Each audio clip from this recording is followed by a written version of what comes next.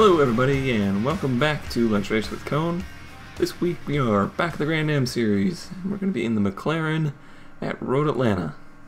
Uh, Road Atlanta is a fast, narrow track with a bunch of elevation change and is something that's, in my opinion, pretty unique to America and uh, has more character than, than, than pretty much any track I've seen here in the States, so I'm excited to go ahead and tackle it.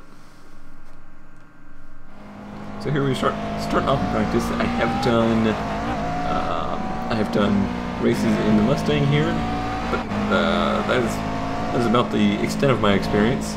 Uh, I do date back to NASCAR 2003 and some Trans Am races at this track, but uh, I found it to not be overly relatable. So here we can see we're coming down the top of the hill here, down the S's, which which doesn't look too impressive uh, in the in the game, but I've been to this track in real life, and it's it's a sight to see. You you are really going down a hill, and it's it's it's funny in the way that the car reacts, and in the downhill sections, more so in this car than than I noticed in the Mustang. You get a ton of understeer on those downhill sections, and then when you dive on, up to the uphill, it seems like all of a sudden that that translates into oversteer, and you can't get off the turns when you're going up the hill, which is strange to me because I've definitely always found that the opposite is true in, road racing cars, but this is my first experience in a, in a mid or rear engine road racing car.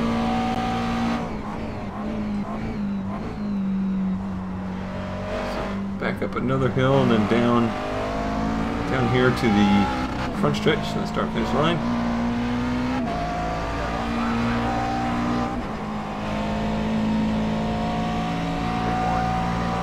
About, as you can see there, 12 laps into practicing here. And uh, 122.7 is actually a pretty respectable time.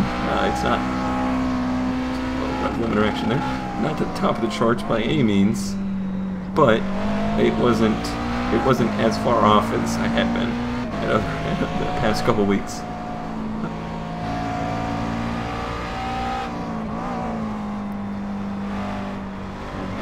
So before starting this, I I kind of, you know, poked around and see, wanted to see what other people were running in. A 119 seems to be about the fastest the McLaren runs here. Um, 120s are about what people are qualifying in my division, and 121s in the race is about about where I need to be.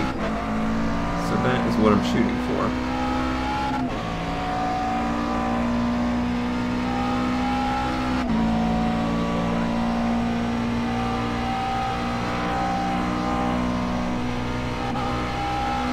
great braking markers here. They got the stripes across the track. They got they got meter signs outside the track.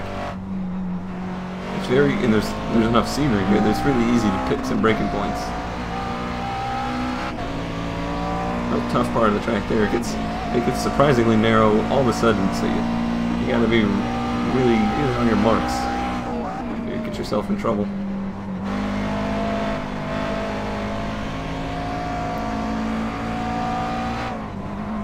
That's that's somewhat what I mean there. You just you kind of just barely miss your marks, and uh, and getting in the world of hurt really quick. Track is really narrow. Uh, it kind of widens up for some of the turns, so you, there's some passing opportunities. Especially through here, it definitely narrows up.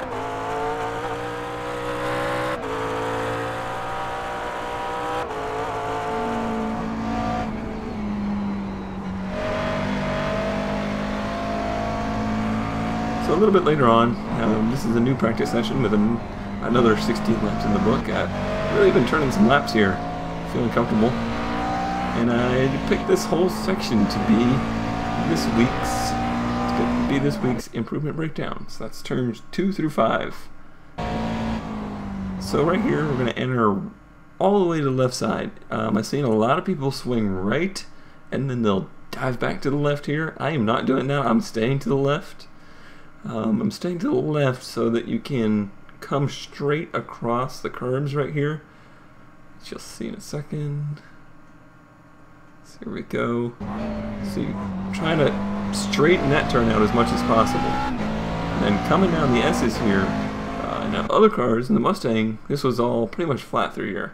But in this car, I'm kind of feathering to get to the right, but you want to get to the gas just as quick as possible.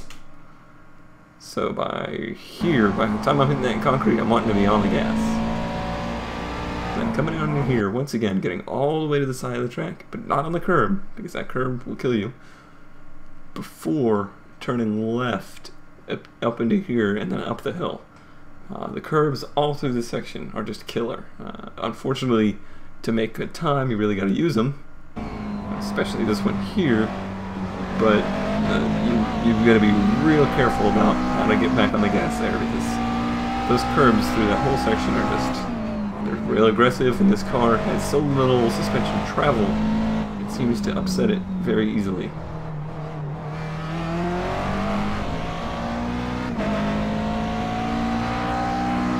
So at this point, I've run a couple 121s, um, getting a lot more comfortable with the track, and I'm feeling if I could run 121s in qualifying, I'd, I'd be pleased with that, even though it certainly wouldn't put me uh, in pole position or anything like that. So at the start of qualifying, I had found some more setups and had actually picked up some time with them but for whatever reason, I got into qualifying. It just it, the car wasn't comfortable enough to make it work. There, that's that's really not the line I'd, I'd like to be running. because when you pinch it off to the right, it kind of upsets you through the whole rest of the S's here.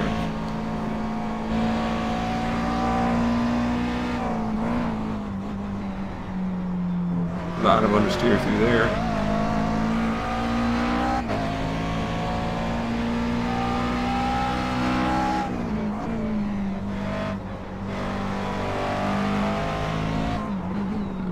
Understeer there. And that's, that's something I am continually fighting with this car. Fighting, fighting some computer issues here. I was having some weird fraps issues or I lag, so I'm simultaneously driving and trying to figure out the recording as I'm going. Nice long straightaway to sort things out. All the way down to second gear. The best part of this car, it's excellent braking. This section here could be a lot faster, but again, not being precise enough with uh, hitting my marks.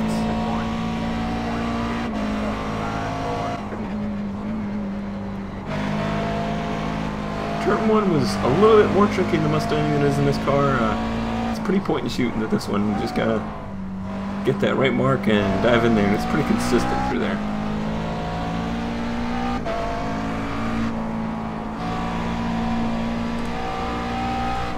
One thing I want to try and do in these practice qualifying episodes is recap kind of what happened in the last week's race, and uh, that actually ends up being the Mazda MX-5 Cup race at Watkins Glen. Actually, that was the Grand Touring Series in the MX-5.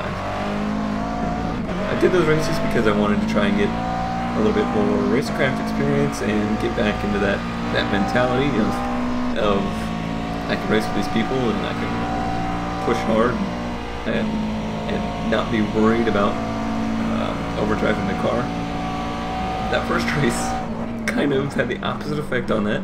Uh, it was great. That that first, you know, 75% of the race was awesome racing. Those those guys were, were really good. But uh, a weird mistake that I don't fully understand what happened. I ended up taking me out. And then in the second race, it was kind of the exact opposite. There was virtually no racing. I drove a pretty clean race, but I, I, didn't I didn't gain any confidence because I didn't really get to race with anybody. So, so I'm coming back to Grand Am this week only because I really I really wanted to run this course, and I'm hoping I'm hoping my confidence is is good enough to to really be racy even in this series. So, so we'll see how that goes this is the last week of this season, so so that'll be the end of this season of, of Let's Race with Cone. But there's only going to be a one week break between next the next season and iRacing, so I haven't quite decided what I'm going to do, but I know I'm going to do a series, and I know I'm going to do it start to finish. So no, no more of this hopping around between series. It's going to be all one series jump a little bit further ahead into the practice session. I go back to the original setup because I was obviously feeling more comfortable with it.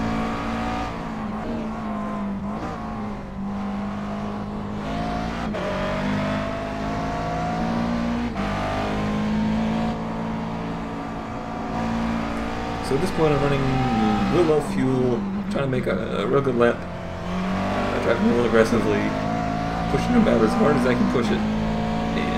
Through the first part of the lap, it's looking pretty good.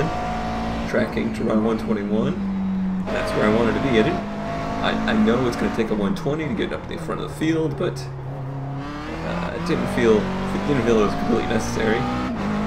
Kind of flubbed it up there, a little, a little too aggressive through the slower slower hairpin turns there. But still a, a, good enough launch out of there to get a good run down the backstretch. As you can see, the the other McLaren's already run 119.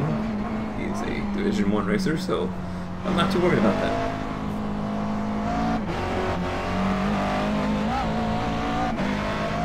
Good run, good run through the last sector here, and 121.6, which I'm more than happy with. That's that's what I set out to do.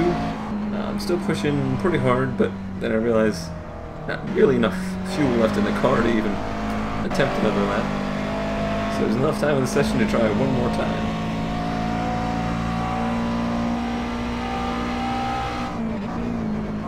See, really good one through one. You can either be slow on entry and fast on exit, or fast on entry and slow on exit. Doesn't seem to matter. Either way. Good run through there. Getting quite a bit of curve, but didn't ruin it. Here. Real tricky there. Uh, the car, as you transfer from the downhill to the uphill, you can see the suspension will really, really compress, and it just sometimes can just just upset the car enough to do something like that. so that was that was all the time we had. Uh, qualifying is over. You can see pretty low down the charts in qualifying for Division 3. But that's not too heartbreaking to me. I'm still pretty confident about how consistent I am around the track and hopefully can get in a pack of cars that are similar similarly paced and get back to doing some door-to-door racing. But until then, my name is Cone Dodger, and I'll see you next time.